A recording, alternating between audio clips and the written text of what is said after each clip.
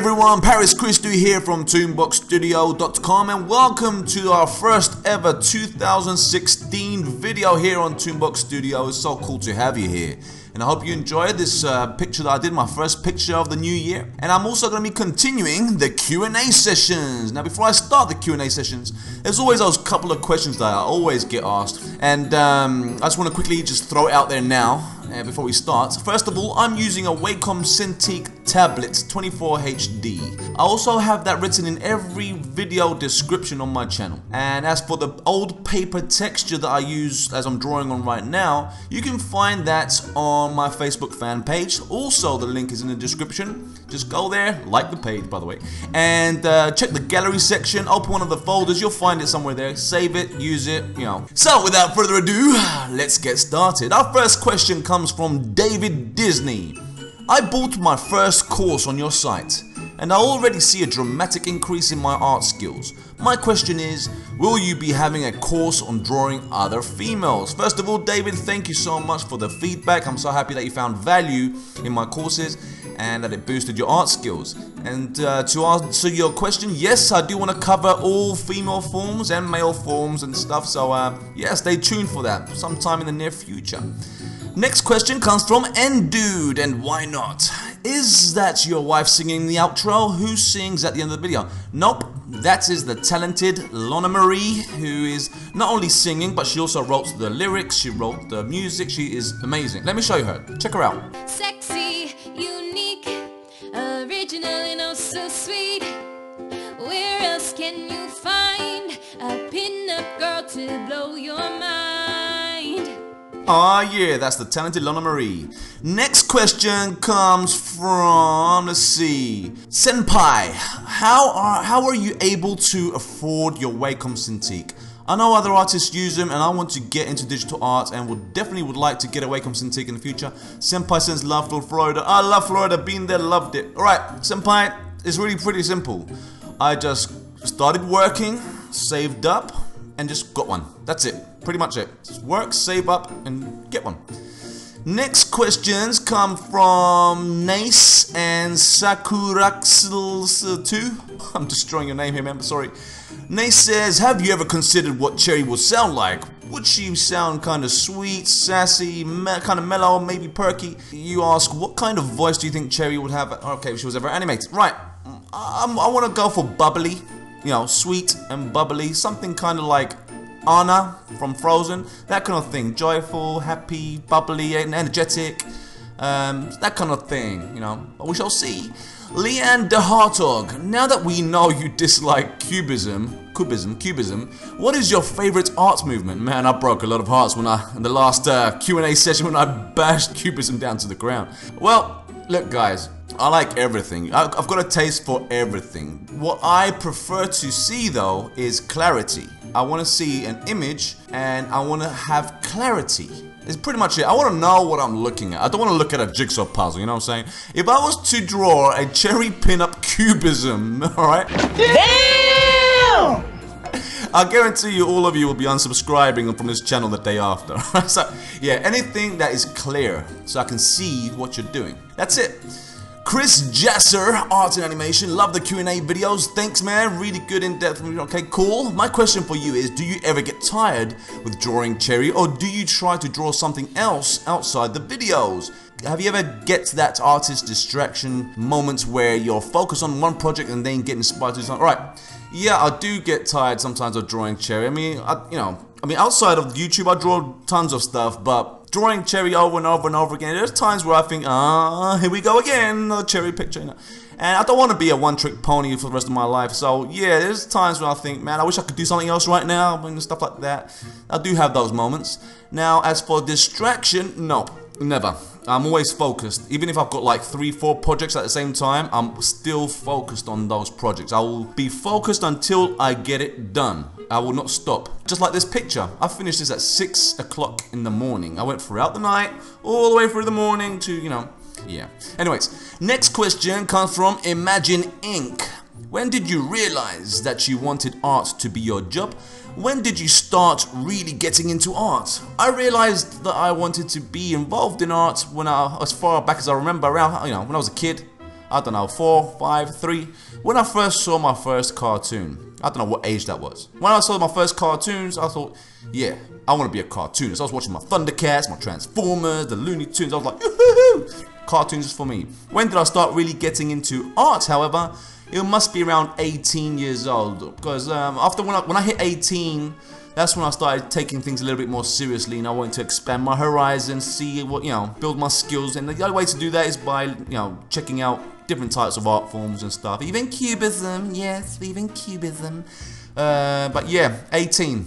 That's the one I started, uh, you know. So, alright, Marcus says, I've been a sub for a very long time. Thanks, man. Like 2012 time. Awesome. And I've always wanted to ask, how did you get into YouTube? Ah, Marcus. You just hit a spot there, Marcus. Tell you what, I'm just gonna put a pin on your question for one moment. Let's go over to Blue Jay. Blue Jay says, how many years took you to become so successful in art on YouTube? Success means different things to different people, right? So it depends what kind of a person you are. Some people find success having all these subscribers. Some people like the fame, the money you earn from the YouTube ads and stuff, you know. For me, the most successful part of my YouTube journey, besides, you know, all you guys, um, was the creation of my business, which is toonboxstudio.com, where I create all those courses. Thanks to YouTube, that became successful. So I, I guess I, you know, my first year, that's when the website kicked off. And also on year number two, success for me then kicked in when my name got out into the market. You see, people started to discover me on YouTube they saw what I do, they liked it, and they wanted to hire me. So overnight, you know, some point in my second year, my emails inbox was full with like people like sending me projects, uh, commissions. All the studios got to know who I am, magazines and stuff. So it was cool. I got my name out there, so I got work, especially at a time where I actually really, really needed it as well. So um, yeah, for me that's more success to me than having you know fame and stuff on YouTube and stuff. So yeah, first year my, my web business, second year my name as an individual artist, I reckon. Right, back to Marcus, my friend Marcus. Tell you what I'm gonna do for you, Marcus, because you hit a sweet spot right there, my friend. And there's no way I can answer this question right now because it's a long story, which involves, like I said in another video, about my little logo in my, my little character my logo. It's a very interesting story, and this is what I'm going to do for you, Marcus. On my next cherry pinup video, I'm going to dedicate it to answering your question. I'm going to tell you all a little story on how I got into YouTube. It's actually kind of fascinating. So, um, sorry for not answering you, but remember, I will. Graham Walters asks, Love the video as usual. Thanks, man. As you progress on YouTube, are you going to start investing more time into it or will it always be more of a side job? What is your end goal? I know you mentioned a Cherry Show before. Well, yeah, you know it. You all know it. My main goal is to get Cherry animated, right? Now, will that happen? I don't know. There's times where I have a reality check and I think, hey, Paris, is all this worth it? I mean, this is fun and stuff, but hey, I always get those days where I think to myself, what should I really do, you know, with this channel and stuff? I, mean, there's so many, I've got so many interests, you know. I, I, there's, there's times I think, man, I would love to do a comedy show instead of drawing cherry or I like to do this I like to do that you know but how do you get all those and gel it into one channel you know trying to change things up a bit without annoying some people who come to see me draw cherry? So we shall see because I've got a couple of ideas up my sleeve and as like I mentioned in the previous Q&A session I'm gonna be revealing a little special little video I'm planning to create and I'm gonna test it on you guys see how you guys react to that different type of video that you're not used to on my channel. So depending on your reactions if you like it I might go a different direction. We shall see. So um, yeah, there are there are times where I always think about investing energy and you know creativity in a different direction towards what you guys are used to seeing me doing. So yeah, Tony Skits and Kevin ask, first of all, awesome pick, thanks man. Do you have times when you really don't have the mood to draw? Where do you get your inspiration then? Do you ever have those days where you can't draw anything? If so, what do you do to get out of that funk? I have days that way. I know what you guys are talking about. I've been there. Right, Kevin also says, with so many years of practice and learning, there must have been a lot of downs and frustration.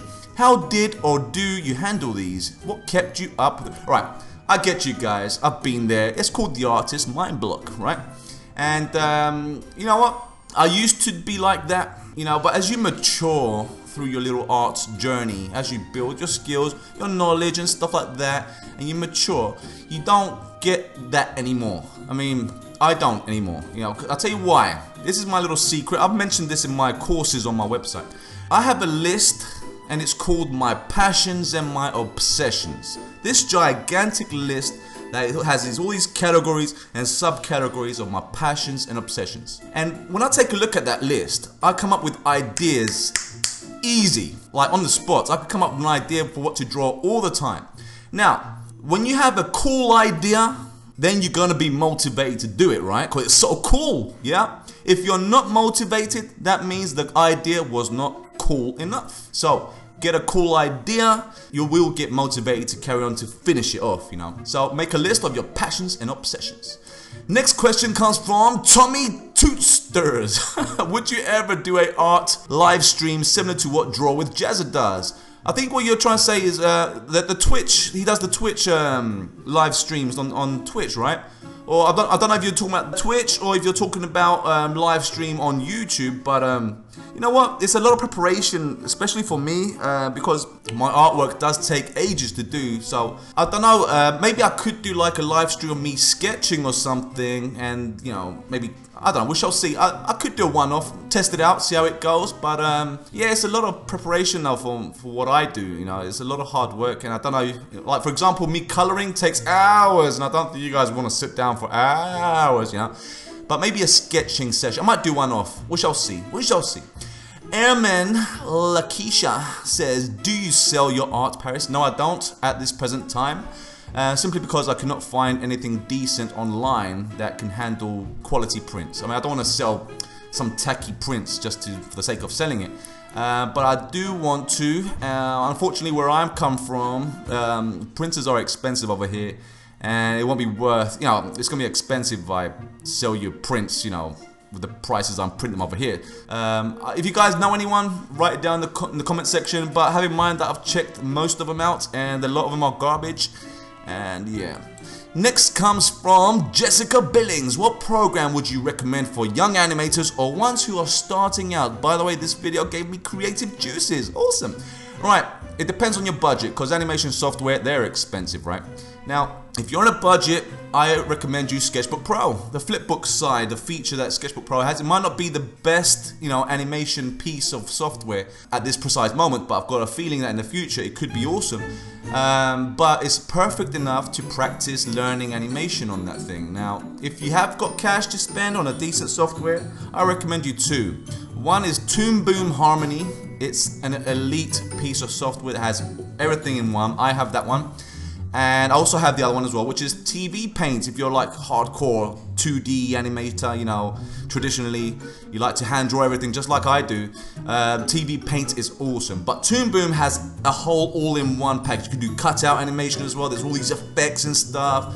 Oh, wow, really, really cool. So depends on your budget, guys. Well, we're coming up to the end of the video now, so it's time to wrap it up. If I didn't answer your question, do not worry. I can't answer everybody, you know, in one video. So repeat the question once again in the, in the comment section and tell your friends to give it a nice thumbs up because the popular ones or the most commonly asked ones gets picked.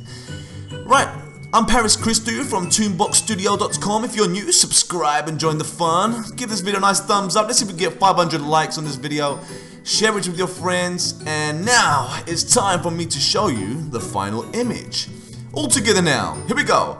Na na na na na na na.